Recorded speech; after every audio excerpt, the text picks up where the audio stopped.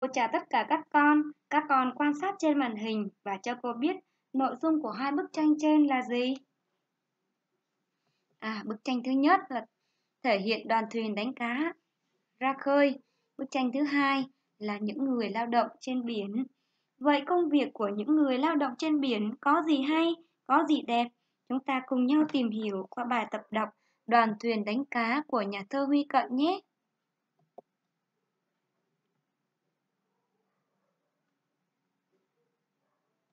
Trước tiên cô và các con sẽ tìm hiểu đôi nét về nhà thơ Huy Cận. Đây chính là hình ảnh của nhà thơ Huy Cận đấy các con. Nhà thơ Huy Cận sinh năm 1919 và mất năm 2005, quê ông ở Hà Tĩnh. Huy Cận là một trong những nhà thơ tiêu biểu của phong trào thơ mới. Trước cách mạng, ông nhanh chóng hòa nhập vào công việc kháng chiến vĩ đại, trường kỳ của dân tộc, hòa bình lập lại. Từng trang thơ của Huy Cận ấm áp hơi thở của cuộc sống và có nhiều đổi mới. Năm 1996, ông được phong tặng Giải thưởng Hồ Chí Minh về văn học nghệ thuật. Tháng 6 năm 2001, Huy Cận được bầu là viện sĩ Viện Hàn Lâm Thơ Thế Giới. Tháng 2 năm 2005, ông được nhà nước truy tặng huân chương sao vàng. Ở bài thơ này chúng ta giọng đọc với giọng đọc như sau. Giọng đọc nhịp nhàng, khẩn trương, nhấn giọng ở những từ ngữ ca ngợi cảnh đẹp huy hoàng của biển, ca ngợi tinh thần lao động, sôi nổi, hào hứng của những người đánh cá. Hòn lửa, sập cửa, căng buồm, gõ thuyền, xoăn tay, lóe rạng đông, đội biển, huy hoàng.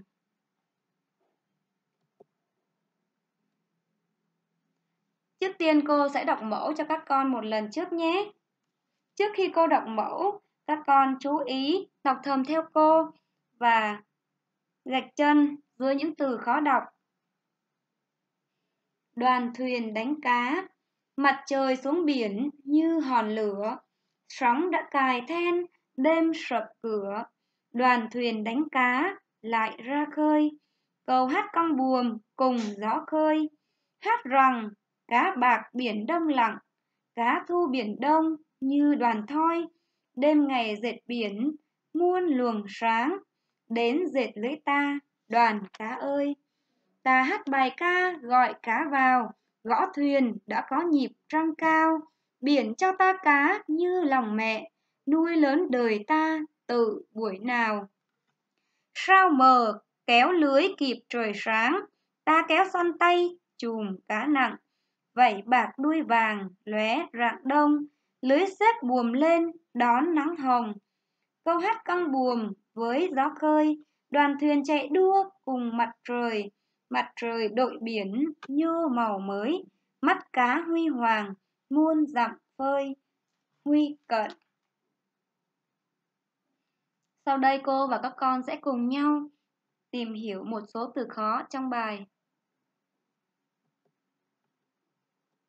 Chúng ta sẽ cùng nhau luyện đọc một số từ khó đọc. Cài then. Cài then. Sập cửa. Sập cửa. Căng buồm. Căng buồm. Đoàn thoi. Đoàn thoi. Xoăn tay. Xoăn tay. Lóe rạng đông. Lóe rạng đông. Cài then. Sập cửa, căng buồm, đoàn thoi, xoăn tay, lóe rạng đông. Tiếp theo cô và các con sẽ cùng nhau tìm giải nghĩa một số từ khó trong bài. Thoi nghĩa là gì? Thoi là một bộ phận khung cửi hay máy dệt để luồn sợi trong khi dệt vải. Nó có hình thoi, cô ví dụ. Ngày xuân con én đưa thoi đây là một câu thơ trong truyện Kiều của Nguyễn Du. Tiếp theo cô sẽ hướng dẫn các con cách ngắt nghỉ câu thơ. Mặt trời xuống biển như hòn lửa, sóng đã cài then, đêm sập cửa. Đoàn thuyền đánh cá lại ra khơi, câu hát căng buồm cùng gió khơi. Các con chú ý ngắt nghỉ hơi ở những dấu gạch xiên cô đã đánh dấu bằng dấu gạch xiên màu đỏ.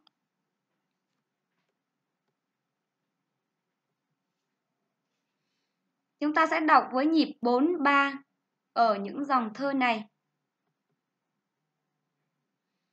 Hát rằng cá bạc biển đông lặng, gõ thuyền đã có nhịp trăng cao, sao mờ, kéo lưới kịp trời sáng. Ở những câu thơ này thì chúng ta sẽ đọc với nhịp 2 năm.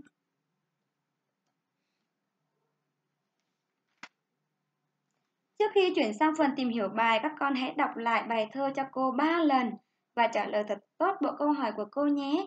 Cô chào tạm biệt tất cả các con.